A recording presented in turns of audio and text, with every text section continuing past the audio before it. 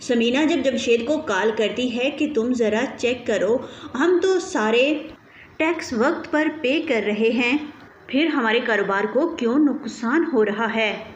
तुम भी तो हमारे पार्टनर हो, अगर हमारा नुकसान हो रहा है तो फिर साथ में तुम्हारा भी तो नुकसान हो रहा है। जमशेद ये सुन के भागता दौड़ता आएगा और हर जगह इन्वेस्टिगेशन करेगा कि मामला ख़राब कहाँ से है, क्योंकि नुकसान तो इसका भी हो रहा है, इसकी जमा पूंजी सारी इस कारोबार पे लगी हुई है। जमशेद कारोबार की सारी फाइलें चेक करेगा और हर क्लाइंट के पास जाके उनसे पूछेगा कि आपसे कितने पैसे लिए गए। टैक्स वालों से पूछेगा कि टैक्स मुकम्मल आप लोगों को दिया गया है। जवाब में वो सब बताएँगे कि टैक्स पूरा नहीं दिया गया। क्लाइंट भी बताएँगे कि हमारी डील इतने में हुई है और फाइलों पे कुछ और लिखा होगा।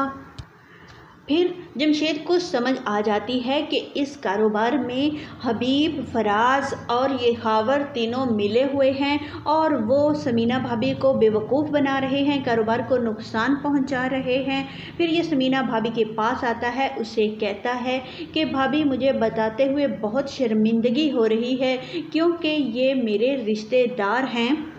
और ये रिश्तेदार आपको बेवकूफ़ बना रहे हैं। फराज और हबीब भाई, ये कारोबार को नुकसान पहुँचाने की मुसलसिल कोशिश कर रहे हैं और इनके साथ ये खावर भी मिला हुआ है। इन तीनों को इस कारोबार से निकालना होगा, तभी हमारा कारोबार मुनाफे की तरफ़ चल सकेगा। तो समीना कहेगी, ठीक है, अब आइंदा से तुम इस दफ्तर में आओगे, जिस कंपनी में तुम काम करते हो, उस कंपनी को छोड़ दो, क्योंकि तुम भी आखिरकार इस कारोबार के पार्टनर हो। समीना को जमशेद पे पूरा यकीन होता है, वो जानती है कि जमशेद ना किसी को धोखा देता है और ना ही झूठ बोलता है, क्योंकि ये इसे कब से जानती है, इसने कभी कोई ऐसी हरकत नहीं की जिससे किसी को नुकसान हो। अब समीना खावर और हबीब से कहेगी कि आइंदा से आप लोगों को दफ्तर आने की ज़रूरत नहीं है। अब मुझे कारोबार की समझ आ गई है। मैं खुद ही सारा कारोबार चला लूँगी। आप लोग कहीं और जॉब ढूँढ सकते हैं।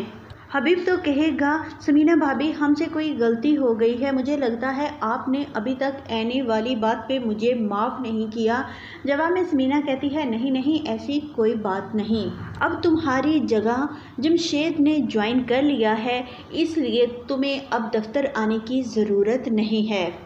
ये तो अपने कानों को पकड़ता हुआ, कानों को मरोड़ता हुआ घर वापस आ जाएगा और आके रहीला को बताएगा कि समीना भाभी ने मुझे दफ्तर से निकाल दिया है। मुझे लगता है कि उन्होंने एनी वाली बात को दिल से लगा लिया है और उन्होंने अभी तक मुझे माफ़ नहीं किया। दूसरी तरफ़ यह खावर को भी निकाल देती है कि खावर साहब, आपकी बड़ी मेहरबानी, अब आप दफ्तर से छुट्टी करें, आपकी जगह मैंने नया मुलाजम हायर कर लिया है।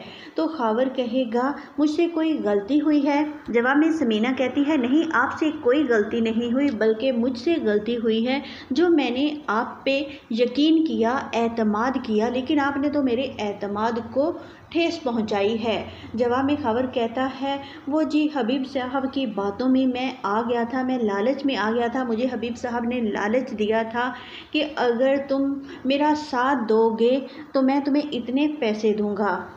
समीना कहेगी, ठीक है, जो होना था वो हो चुका। अब आप मेहरबानी करके आइंदा से दफ्तर मत आइएगा। मैं चाहती तो आप लोगों को मैं फ्रॉड और धोखे के केस में अंदर करवा सकती थी, लेकिन मैं ऐसा कुछ नहीं कर रही। क्योंकि सब अपने रिश्तेदार हैं, हबीब भी हमारा अपना है, उसे कोई दुख होगा तो कल को हमें नुकसान होगा। और तुम भी जहीर साहब के पुराने मुलाजिम हो, इसलिए मैं तुम्हें माफ़ कर रही हूँ। दूसरी तरफ़ राहीला को, जब एनी की बेटी की बर्थडे पे कोई भी नहीं पूछता, ये एक तरफ़ बैठी होती है, कोई इसका हाल तक नहीं पूछता। सब बहुत आपस में खुश होते हैं। एक दूसरे के साथ तस्वीरें बनाते हैं तो फिर राहीला ठान लेती है कि अब इन सब घर वालों को मैं एक एक करके इस घर से निकाल दूँगी। इन्होंने मेरी इज़्ज़त नहीं की। ये लोग जानते ही नहीं अभी तक मुझे कि राहीला क्या कर सकती है।